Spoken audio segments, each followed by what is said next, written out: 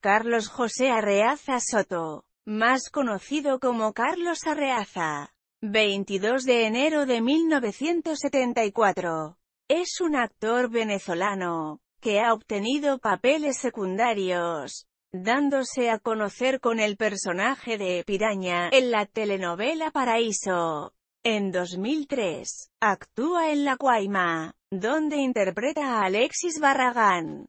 En 2001, también actúa en La Niña de mis Ojos, donde interpreta a Juan Carlos Rondón Ramírez. Arreaza Soto, después de una larga relación de cuatro años con la actriz Daniela Navarro, contrae nupcias en Miami en una ceremonia privada el 24 de septiembre de 2011.